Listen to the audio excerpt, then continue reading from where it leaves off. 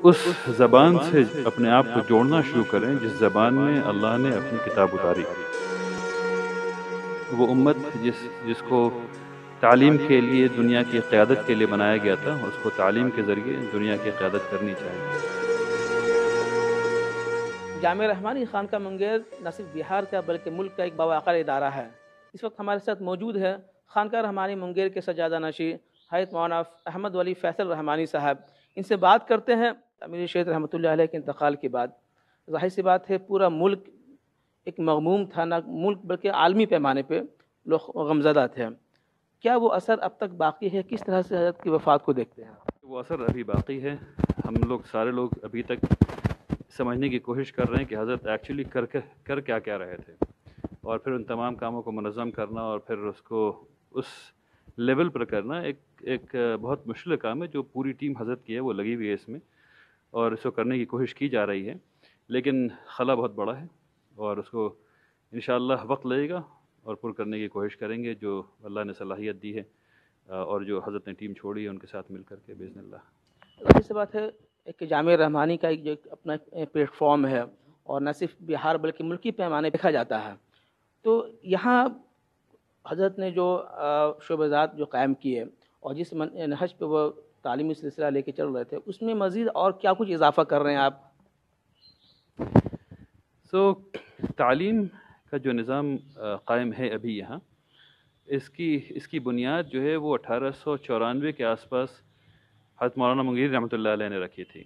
और जिस कस्म की जो सोच उन्होंने दी जिसके बेसिस पर नदवा कायम किया गया उसी बेसिस पर जाम रहमानी भी कायम किया गया। फिर उसके बाद गालिबा उन्नीस सौ चौवन के आसपास दादा रहमत ने कॉन्फ्रेंस की करिकुलम के सिलसिले में और फिर उसमें तब्दीली की। फिर हज़रत रहमत ने यहाँ एक शोबा कायम किया दारकमत का और उसका काम यह है कि वो तालीम को इस नुक़ नज़र से दे कि अल्लाह तबारा की तमाम आयात पर मुसलमान गौर कर सकें और फिर ये समझ सकें कि इस दुनिया में उनका क्या मकसद है और आख़रत में क्या होना है। उस हिसाब से वहाँ की तालीम जो है हम लोगों ने उसमें कई इनोवेशंस किए हैं। मसलन जो जदीद जो ूम है, यानी साइंसेस जो हैं फ़िज़िक्स है केमिस्ट्री है बायोलॉजी है, इन तमाम चीज़ को आलमियत के कोर्स में शामिल करने की कोशिश की है। और उसको उसी अली दर्जे के से पढ़ाने की कोशिश कर रहे हैं हम लोग, जिससे कि बच्चे किसी भी अच्छे स्कूल से पढ़ कर के निकलते हैं। तो इस कस्म का काम हम लोग कर रहे हैं और इसके साथ साथ तरबियती, यानी जैसे कि स्टूडेंट सेंटर्ड लर्निंग है, या पॉजिटिव डिसिप्लिन का जो कॉन्सेप्ट है, उन तमाम कॉन्सेप्ट को हम लोग अप्लाई करने की कोशिश कर रहे हैं जाम रहमानी में।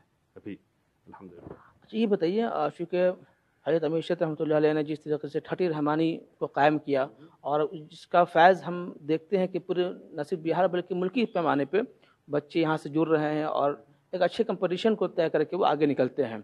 क्या ठटी रहमानी की तरह जिस तरह पटना में कायम है। दीगर अजला में भी कायम करने का मनसूबा है सो so, रहमानी थर्टी पूरे हिंदुस्तान से कश्मीर से लेके बंगलोर तक और इधर असम से लेकर के राजस्थान तक हर जगह से बच्चों को सेलेक्ट करता है। और अभी रहमानी थर्टी पटना में जहानाबाद में हैदराबाद में महाराष्ट्र औरंगाबाद में बंगलोर में मौजूद है।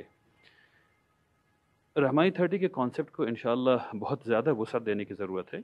और इन हज़रत ने हज़रत ने कहा था कि उसको ऐसा ऐसा करो तो हम लोग इन उनके बताए हुए नक्श कदम पर चल रहे हैं और इन इसको और बहुत आगे बढ़ाना है। और न सिर्फ़ ये कि इंजीनियरिंग, मेडिकल और कॉमर्स, बल्कि जो रोड मैप है, उसके अंदर लॉ भी है, उसके अंदर जर्नलिज़म भी है, इन तमाम चीज़ों को करेंगे इन यानी जो हायर हायर एजुकेशन में जो एक्सेलेंस चाहिए उसको पैदा करने की कोशिश कर रहे हैं हम लोग। बहुत कम देखा जाता है जो हमारे कराम हैं जो ये तबका है वो असरी और दीनी दोनों का इम्तज़ाज़ बहुत कम लोगों में देखा गया माशाल्लाह आप इन दोनों इम्तज़ाज़ आपके अंदर पाया जाता है।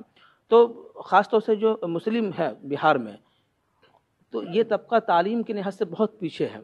तो इस बारे में क्या ख्याल है कि इसको इस पटरी पर किस तरह से लाया जा सकता है? जमे का मेंबर उससे उससे काम लेना चाहिए।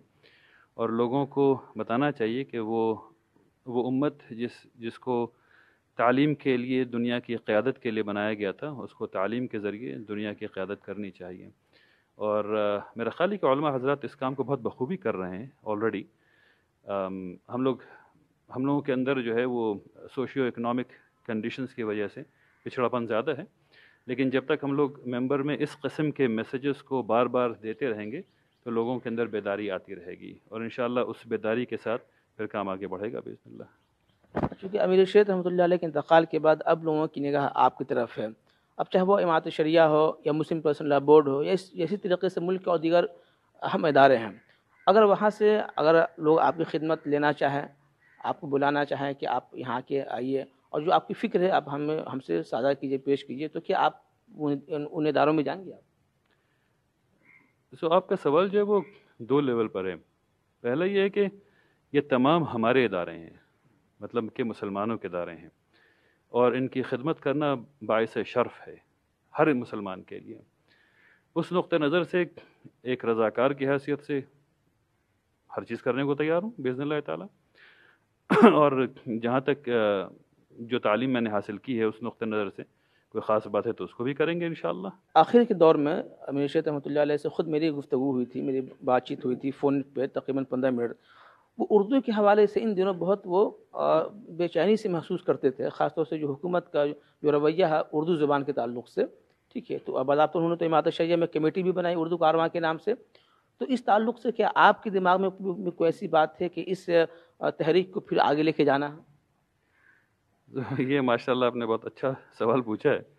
उर्दू की तहरीक जो है वो अरबी के बगैर नामुमकिन है।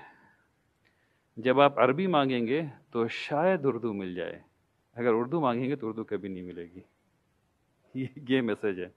आपको अरबी मांगना होगा, आपको फ़ारसी मांगना होगा तो शायद उर्दू मिल जाए। ठीक है ना? तो मुसलमानों को चाहिए कि वो उस ज़बान से अपने आप को जोड़ना शुरू करें जिस ज़बान में अल्लाह ने अपनी किताब उतारी। जब वो ज़बान से जोड़ना शुरू करेंगे तो उर्दू ऐसी सदक़े मिल जानी है इन आखिर में जो नई नस्ल है जो इस तरफ़ आना चाह रही है मुस्लिम कौम को आप क्या पैगाम देना चाहें दीन और तालीम की तरफ़ लौटना है दोनों ही।